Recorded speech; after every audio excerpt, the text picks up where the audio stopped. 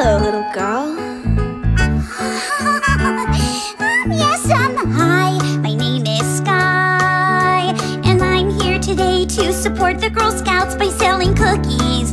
Four dollars a box. Would you like some? Sure. Really? Yeah, what flavors you got? Well, I've got chocolate, banana, and oat bran, pecan, Samoas, and thin mints, and one that tastes like apple pie. Why don't you come